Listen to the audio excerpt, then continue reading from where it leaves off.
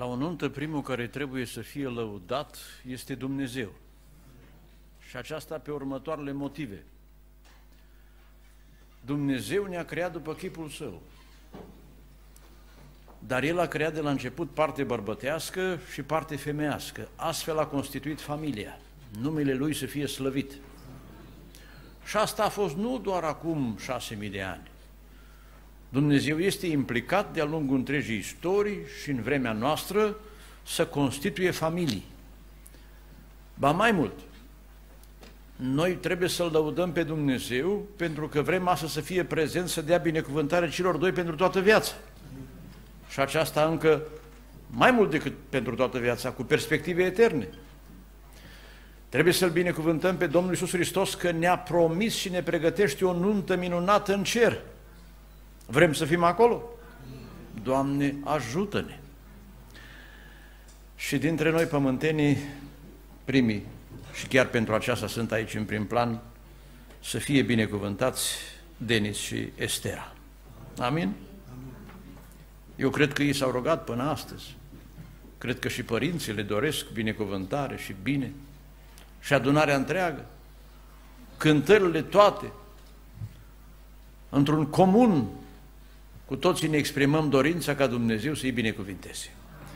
Să vă binecuvinteze Dumnezeu și părinții și fie binecuvântată ziua de astăzi cu slujba de aici, cu cea de dincolo de la masă, să vă puteți bucura până vă întoarceți la casele dumneavoastră și ei să se ducă în pace și cu binecuvântare la locul unde se vor așeza. Dragii mei, din Cartea Sfântă vreau să vă citesc două versete. Cântarea Cântărilor, capitolul 8, versetele 6 și 7. Această carte este un dialog între doi îndrăgostiți, am putea spune, și urmărind parcursul ei, cuvintele care vi le citesc aparțin femeii din acel dialog. Ea s-a adresat bărbatului cu cuvintele, Pune-mă ca o pecete pe inima ta ca o pecete pe brațul tău, căci dragostea este tare ca moartea și gelozia este neînduplecată ca locuința morților. Jarul este un jar de foc, o flacără a Domnului. Apele cele mari nu pot să stingă dragostea și râurile n-ar putea să o înnece. De-ar da omul toate averile din casa lui pentru dragoste, tot n-ar avea decât dispreț. Amin. Vreau să vă vorbesc astăzi despre o familie iubitoare. Eu aici pot să vă predic, dar la mine acasă mă silesc să fac ceea ce ne revine, să fie familia mea o familie iubitoare. Mai cu seamă, cei care mă cunoașteți, că Dumnezeu a lungit zilele nevestei mele. Mulțumim pentru rugăciunile dumneavoastră. Dumneavoastră, la rândul dumneavoastră, vă puteți angaja și face ceea ce vă revine să fiți o familie iubitoare. O astfel de familie dorim și celor doi. De regulă sunt întrebați mirii dacă se căsătoresc din dragoste. Eu îi întreb și dacă vor să se iubească de acum încolo. Că acum aproape că îi credeți toți că se iubesc, dar peste un an, doi, zece, douăzeci, să vedem cum va fi. În primul rând,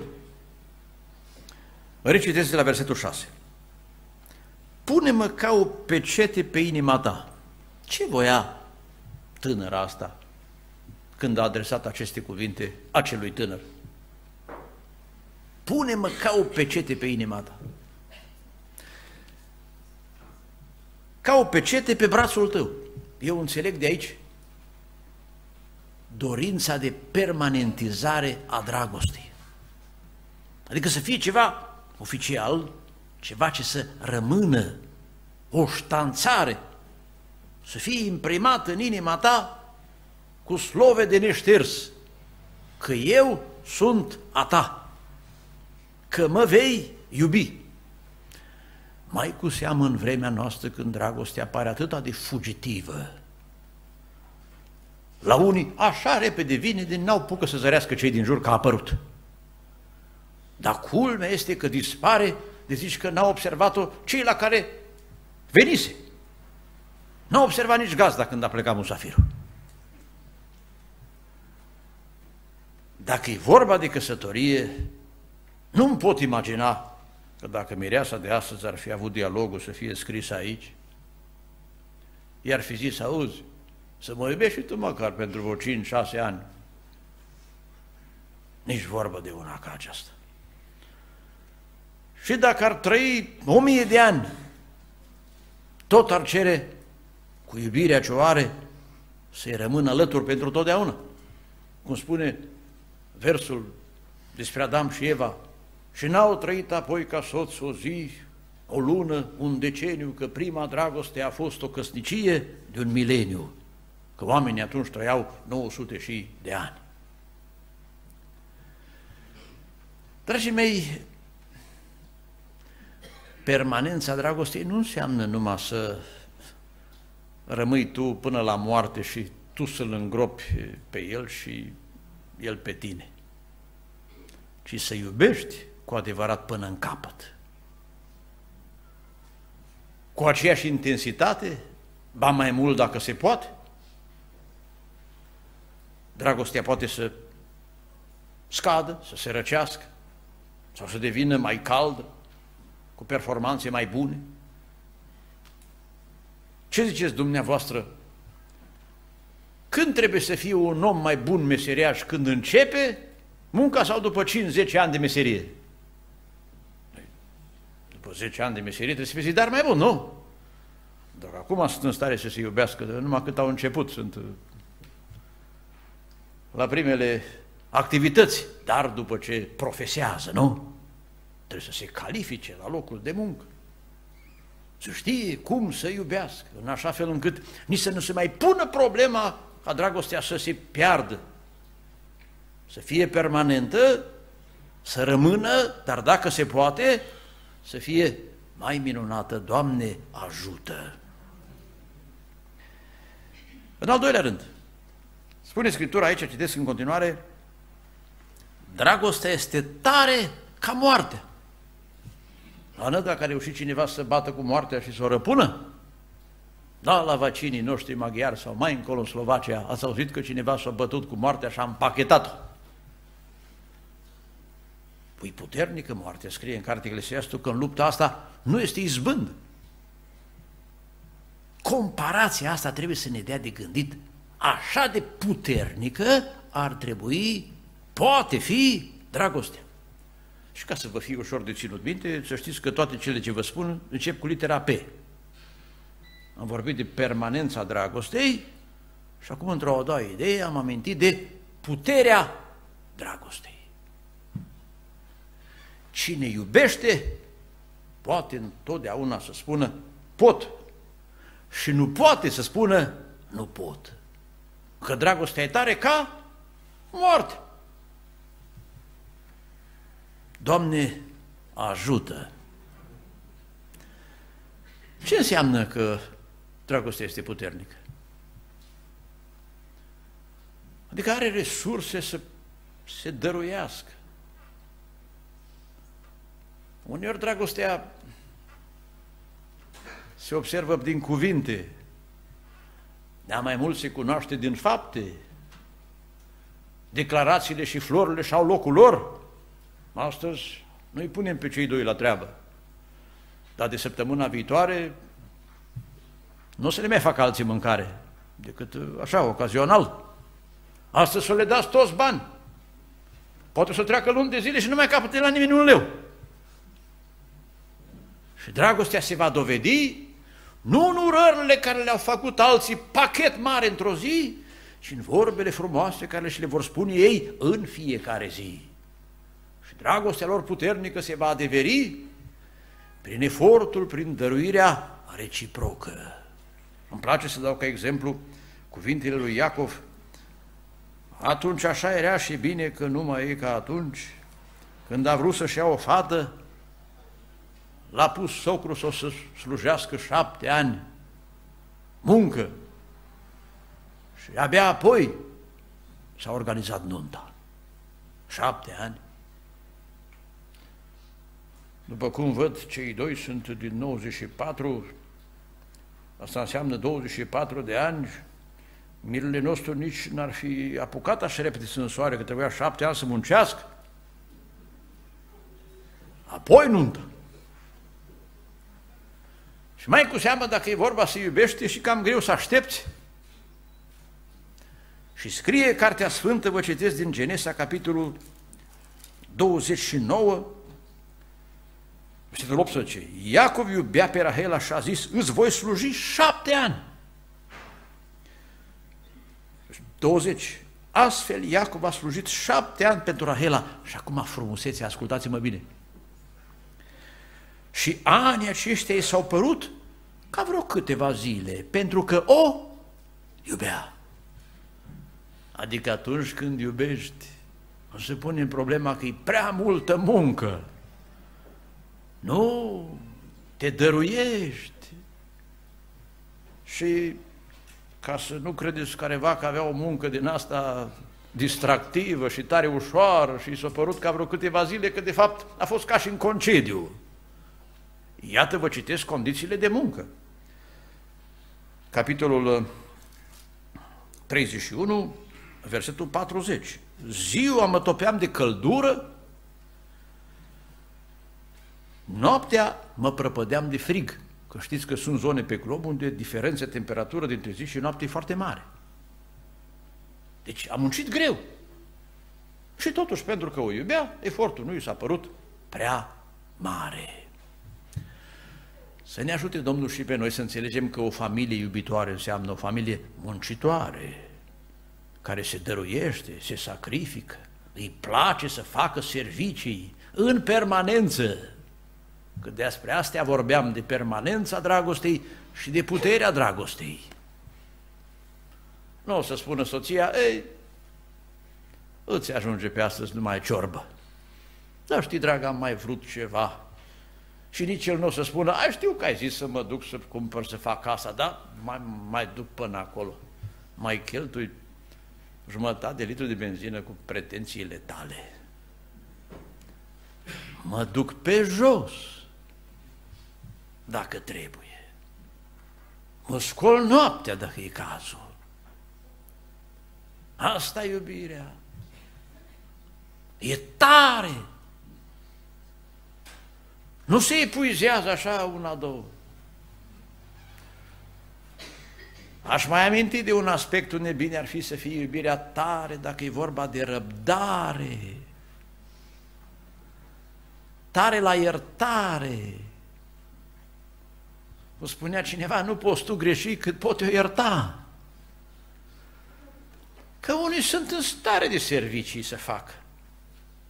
Dacă știți să te poți frumos, dar de cumva nu le-ai împlinit toate dorințele, atunci se supără și undeva apare negativul. Banul e permanentă, banul e puternic. Am mai întâlnit și situații în care unii, cum ați fi dumneavoastră aici, au zis la urmă la predicator, Domnule, crezi ce ai predicat, crezi că se poate, chiar așa nu se poate. Asta a vorba fi, așa e slujbă. Ascultați-mă ce vă spun în al treilea rând și tot cu litera P, cum vă spuneam să țineți minte. Cartea Cântărilor, capitolul 8, versetul 6. Ca să știți că se poate și încă asta în mod permanent jarul ei a dragostei este un jar de foc, o flacără a Domnului. Totul depinde de proveniența dragostei. Dacă e de la Dumnezeu, e permanentă și e puternică. Dacă e de la noi, atât de puternică precum suntem noi. Și noi suntem oamenii unul mai slab ca altul că e mai drept să spun așa decât unul mai tare ca altul. Adică, dragii mei, în viața de familie, dragostea depinde de relația noastră cu Dumnezeu. Dacă Dumnezeu ne dă resurse, noi putem, dacă nu, într-o zi ne sculăm și spunem că n-am mai putut să mă ridic din pat. N-am mai putut să fac și asta. De aceea cei doi sunt la biserică astăzi. Să le dea Dumnezeu o astfel de dragoste. Noi ca părinți le putem da sfaturi, dar ei vor ajunge să spună într-o zi, nu mai pot, dați auzit? Soții care spun, nu mai pot, cu el. Gata, cine mai poate cu asta? Cu Dumnezeu numai se mai poate. La Dumnezeu toate lucrurile sunt posibile. Nu-i nimic prea greu pentru Domnul. Am întrebat pe o femeie, ca să vă dau un caz extrem, o abandonase soțul cu cinci copii. Nu mai dădea niciun ban în casă. Și îl dorea înapoi. Postea, a postit șapte zile fără să mănânce pâine sau orice alte alimente, fără să bea apă. Și am întrebat-o, dar cum ai reușit să întreții cinci copii să postești o săptămână? Și riscant. Și a zis, când simțeam că sunt epuizată, fizic, psihic, mă puneam pe genunchi. Și așa mă ridicam de întărită, parcă mă ridicam de la masă. Numai Dumnezeu este stare de așa ceva. Numai Dumnezeu te poate ajuta, frate Mire, ce spui tu astăzi să fie adevărat. Și peste 10 ani și ea să fie tot așa de bucuroasă cu flori în mâini. Că dacă nu, și dacă le aduci tu, le aruncă. Dacă de cumva nu reușește ea să biruie ispita aceea. Da. De aceea, dragii mei, vă îndemn simplu, când vă sculați dimineața, rugați-L pe Dumnezeu să vă ajute. Noi, din punct de vedere fizic, nu avem putere dacă nu mâncăm. E drept? Dacă nu bem apă, ne deshidratăm. La fel, sufletul nostru are nevoie de rugăciune, de citit Biblia, de venit la biserică. Păi de aceea nu v-ați dus direct la masă. Nu că nu o fi gata supa, nu? Că mai întâi de supă noi avem nevoie de Dumnezeu, dragii mei. Mulțumim Domnului că în vremea asta este mâncare. Am zis recent, am avut și noi exact o săptămână în urmă nuntă la cel mai mic copil. Mâncare poate mai fi fost și dată multă, dar poate nu diversă cât astăzi. Dar cel puțin haine nu cred că au fost atâtea cât astăzi de când e lumea. Sunt de toate. Dar ce n-au oamenii? Dragoste din asta. Și atunci aș fac hăinuțile pachet și se duc și unul mâncă aici și unul mâncă în altă parte. Sau și dacă mâncă numai nu-i, nu-i bine, că scrie în Proverbe 17, vă citesc cuvintele lui Solomon, autorul aceleiași cărți din care am citit, mai bine o bucată uscată cu pace, cu dragoste, decât o casă plină de cărnuri cu ceartă. N-are gust. Așa că, stimați miri, de cumva n-aveți Biblie, am întrebat dacă sunteți români, slovaci, știu că aici este bună înțelegere, cumpărați-vă una în românește, una în slovăcește. Pe telefon am și eu un program e-Bible, am vreo 20 de traduceri, să văd cum au tradus unii, alții. Să nu vă lăsați fără Biblia, asta să fie meniul de dimineață. Pentru o viață, meniul zilei. Carte de cântări, să aveți. Că acum proiectorul nu puteți duce cu voi acasă. Trebuie să aveți acasă o carte de cântări. Dimineață, cu scumpa mea soție, am cântat două cântări dintr-un caiet de cântări ce l-am scris când eram încă necăsătorit. Avem de atunci caiete de cântări, am mai cumpărat din acelea tipărite. Rugăciunea să fie cel puțin de trei ori pe zi, cât și mesele. Și în felul acesta, începând ziua frumos, iar seara s-ar putea să fi greșit peste zi, că mai mintim noi câte una dacă nu suntem atenți. Tot lui Dumnezeu venim să-i cerem iertare și dacă e cazul, și partenerului de viață și dragostea e tare și poate să ierte. Și nu-și mă aduce aminte niciodată. De una că asta e stare dragoste. Păi de aceea poate duce dragostea mult, că nu le încarcă. Care, cum ai făcut-o, ți-o iartă la foc automat. Nu știți că s-a întâmplat că o familie aveau vreo 80 de ani de căsnicie, o trecuți în cartea recordurilor, și a fost întrebați de nepoata unui dintre ei, reporter, cum ați reușit, acum nu mențin, nu se mențin căsătoriile? A zis, am avut înțelegere de la început, pentru 10 lucruri să nu ne băgăm în seamă greșelile, să ne iertăm. Și repede a doua întrebare, care sunt acele 10 lucruri? Apoi zice, n-am socotit orice făcea, zicea, măi, din cele zece, de pace. Și uite, așa, a mers mult și bine. Mărit să fie Domnul. Vă spuneam că am avut nuntă în familie, m-am bucurat că au putut să fie și părinții mei, au peste 64 de ani de căsătorie. Și am dat la tata un cuvânt că și-a văzut nepotul cel mai mic de la copilul cel mai mic la nuntă. Toate astea sunt după îndurările Domnului. Rețineți așadar permanența dragostei, puterea dragostei, dar totul depinde de proveniența dragostei. Dacă e flacără de la Dumnezeu, nu se stinge. Dacă e de la noi, ni se termină paile. Și s-a dus totul. Dacă e Dumnezeu, de la Dumnezeu, arde ca un vulcan și numai tot iese și tot iese. Binecuvântat să fie Dumnezeu care are dragostea ele. Dumnezeu este dragoste și toarnă peste noi numele Lui să fie slăvit. De aceea cei doi s-au unit și sunt gata să-și lase părinții, să-și unească, așa cum se spunea de la început destinele, pentru că a venit peste ei dragostea asta puternică, fără rezerve. Așa se aștept Dumnezeu să rămână toată viața. Amin? Trec mai departe. Mai este un verset în cele citite, versetul 7, și să fie tot cu litera P, să ține minte, pericolele. Apele cele mari nu pot să stingă dragostea, dar pot să vină apele cele mari. Râurile n-ar putea să o nece, dar pot să se reverse.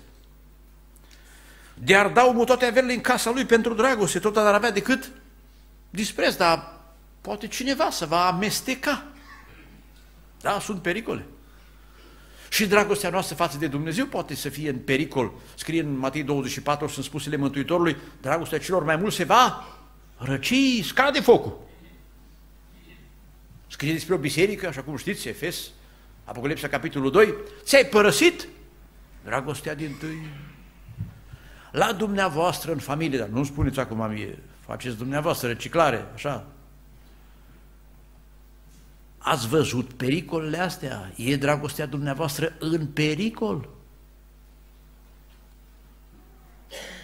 Chiar pericolul divorțului, dar e și suficient pericolul scandalului, a certurilor, a lipsei de pasiune. Am trăit viața, dar fără mare dragoste. Am auzit pe cineva spunând, a, apoi cât a fost, n-a mai fi. Ce dezgustător! Ce trist! Oare de ce? Dragostea atât de mult dorită poate să ajungă să se piardă, să se stingă această flacără. Dacă e de la Dumnezeu, în mod normal, nici apele cele mai mari, așa am citit, nu pot să facă ceva.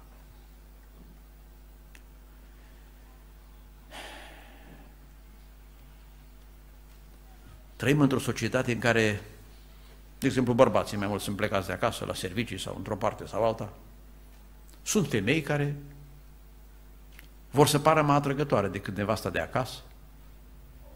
Pot să fie spiritual. Femeia, și ea la serviciu sau în relațiile pe internet, poate să fie și ea ispitit. Cineva să pară mai drăguț, mai ofertant. Îmi vine în minte cazul unei familii care n-a mers mult, au divorțat. Și deși părea că atât de mult s-au iubit că n-au avut răbdare nici până la nuntă,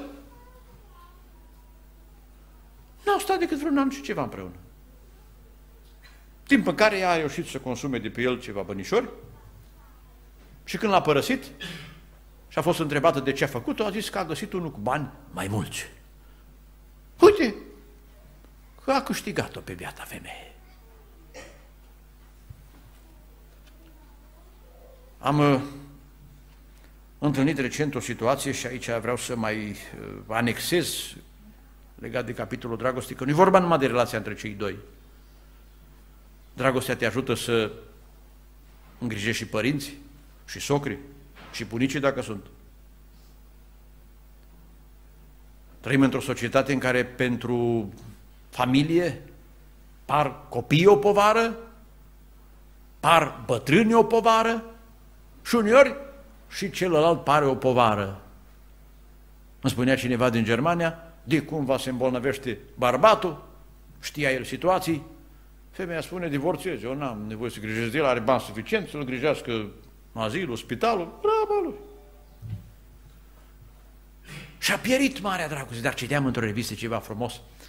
Un bărbat s-a dus undeva la urgență sau la un destis să nu greșesc și nu-i venea repede rândul și tot uita la ceas și o asistentă de acolo a întrebat, dar trebuie să ajungeți undeva? Zice, nu, acasă, trebuie să ajung și e ora la care trebuie să iau masa cu soția. Da, soția dumneavoastră e supărăcioasă sau va pregăti ceva, aveți o zi specială. Și când colo a constatat acea asistentă că soția lui de fapt era bolnavă încât ea nici nu mai raționa, nu-și mai cunoștea soțul.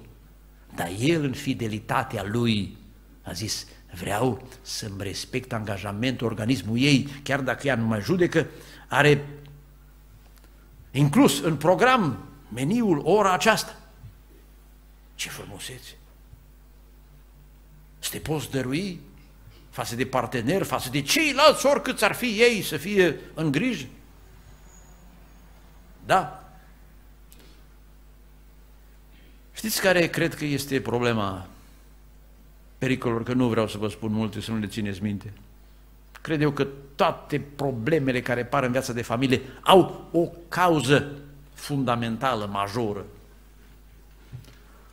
Oamenii nu înțeleg că dragostea înseamnă să-l pui pe partenerul de viață întâi și tu să fii al doilea. Aici e toată problema. Egoismul distruge dragostea și viața de familie. Și pe șeaua unui cal niciodată nu poți să stea amândoi în față. Și în viața de familie fiecare trebuie să-l pună pe celălalt în față. Și el să stea în spate. Poate ați auzit întâmplarea aceea, vă spun pe scurt. Un stăpân avea uh, doi argați care se tot certau și le-a dat un concurs interesant. Le-a spus, fiecare se urcă pe un cal, țintă copacul din față. Calul căruia ajunge ultimul, ia premiu. Și vă dați seama, fiecare trăgea de timp, îi spunea celălalt, du-te tu, să rămân eu la urmă să iau eu premiu. Și așa trăgeau de timp, cineva a văzut și a zis, băi, voi nici nu mergeți, nici nu veniți. Păi da, așa sunt regulile concursului. Care ajunge ultimul, calul, aia premiu. Să meargă el. Și le-a spus omul acela, hai că vă simplific truda, schimbați cai. Și acum fiecare avea interes să rămână calul lui la urmă, pe care călărea celălalt și să ia el premiu. Și gonea pe calul celuilalt. Hm. Cam așa ar trebui când vă însurați și când vă măritați. Sper că m-a auzit și Miri. Să schimbe caii la concurs. Când te căsătorești, se schimbă ordinea pronumelor personale. Întâi este tu și urmează eu. Dacă n-ai făcut schimbarea asta, dragostea ta într-o zi va da de bucluc. Că nu mi-a făcut. Și ce dacă nu ți-a făcut? Problema este, tu ai făcut? Fă-ți parte. Asta e marea problemă. Și vă citesc răspunsul din aceeași carte, Cântarea Cântărilor, capitolul 6, versul 3. Eu sunt a iubitului meu. Deci eu nu mă aparțin mie, m-am dăruit, asta e căsnicia. Și iubitul meu este al meu. Dacă vrea să, să mi se dăruiască, dar eu m-am dăruit. Da? Și când pui problema, nu te poate împiedica nimeni să iubești, că e ceva ce ține de tine. Să te dăruiești pentru nevastă, pentru copii, pentru părinți, cum spuneam, pentru oricine este nevoie la nivelul familiei. Asta dă permanență dragostei, asta dă putere.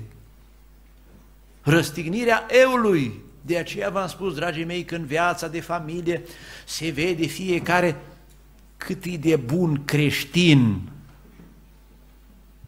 Că asta e viața de credință. Eu nu știu ce sunteți dumneavoastră, reformați, pentecostali, ortodoxi, catolici, orice ați fi. În Biblia noastră tuturor scrie la fel.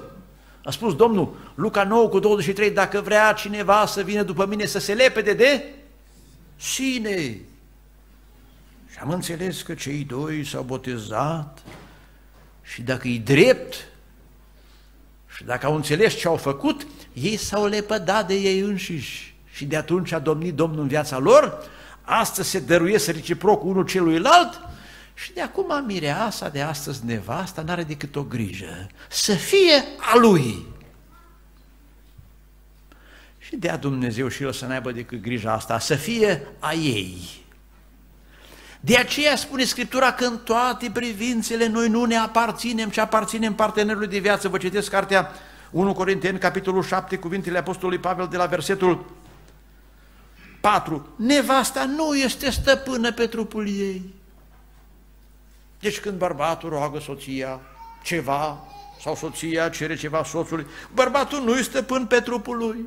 Deci când soția zice, te rog, du-te adu asta, este ca și cum ar comanda trupului ei. Ea deține controlul peste tine și îți poate porunci dacă vrei să o iei chiar așa. Și tu în dragoste nu-ți rămâne decât să faci, Doamne, ajută.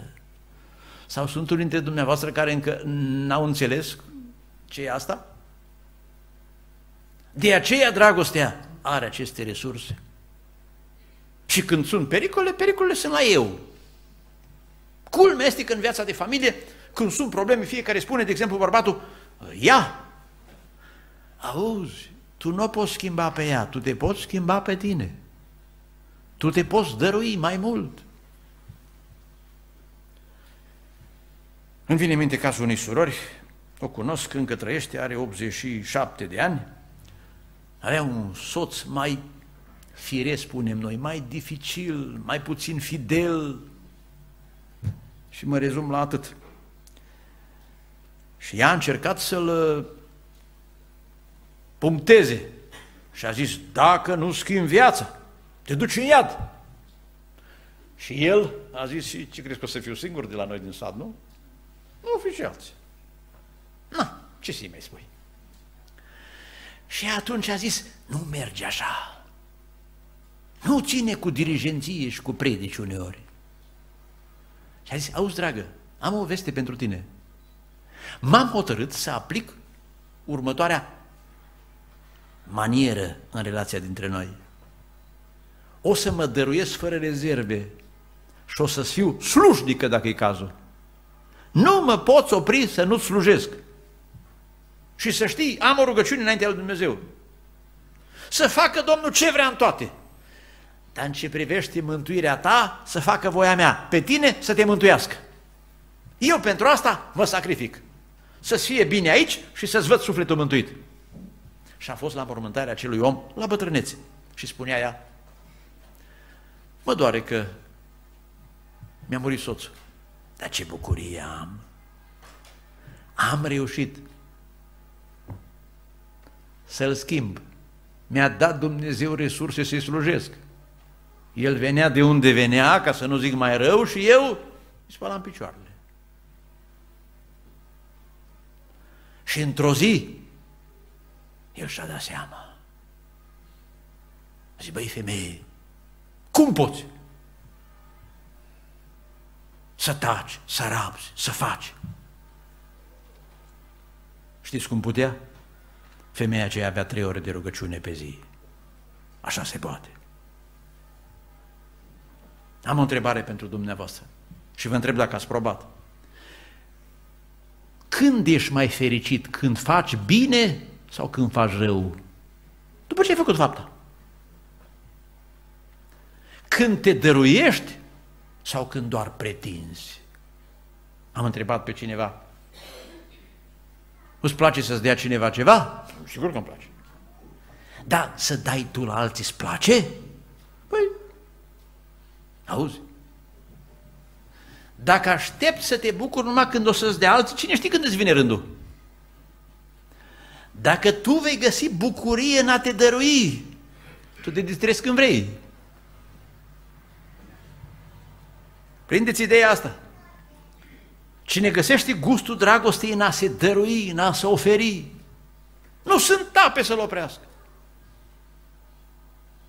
Că el nu mi-a făcut.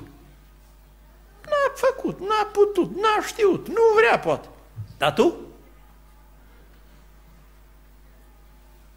Dăruiește-te. Eu sunt a iubitului meu. Dacă o să mai vin pe aici, sper să-i cunosc, că viața trece, altădată mir la adunare nu o să-i mai zăresc.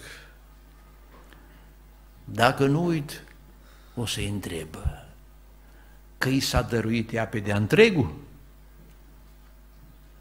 cu toate resursele. În felul acesta va putea să spună, și o va spune și Dumnezeu în final, a făcut un soț fericit și dea bunul Dumnezeu să și mântuiască. Și închei, dragii mei, afirmând următoarele. Dacă n-ați fost așa, dacă n-am fost așa, vreți cu ocazia anunților să ne reciclăm și noi? Și spunea un bătrân, zice, mie îmi place să-mi duc băbuța la anunți. Și dar de ce? Bă, bătrânii nu sunt tata după mâncare. Auzi, audi predica. Și când venim acasă ne întrebăm, n-ar fi cazul? Că asta e frumusețea relației cu Dumnezeu, dragii mei. Nu știu dacă în familie procedați la fel, dar bine ar fi să uităm ce a fost. Eu în activitatea mea pastorală am întâlnit familii care s-au divorțat, care au stat separați ani de zile. Și când și-au pus în ordine relația cu Dumnezeu, s-au împăcat și numai că s-au împăcat și conviețuiesc. Am întâlnit declarații lor care au spus, parcă n-am fi fost certați niciodată. De așa ceva este în starea dragoste. A spus Domnul Iisus scrie în Luca 7, celui ce se iartă mult, iubește mult. Dar nu-i deloc plăcut după ce, de exemplu, te-a trădat partenerul sau și numai să te fi înșelat cu niște bani, să se fie ascuns. Sau și numai să te fi jignit în public. Să-ți continui apoi viața ca și cum n-ar fi fost nimic. Se poate. Dragostea are puterea aceasta. Să fi venit valul cât de mare, râul cât de mare.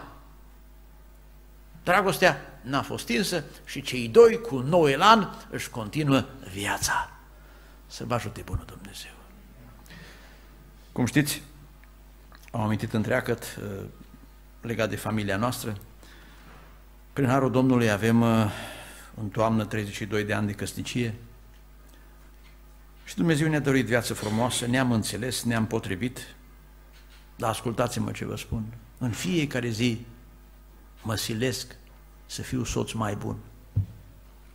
Soția mea așa spune că atunci când a fost fată a cerut ea trei lucruri de la Dumnezeu, între care să fie bărbatul bun. Și eu când aud povesti că spune asta, îmi zic, dar mai fi unde mai bun.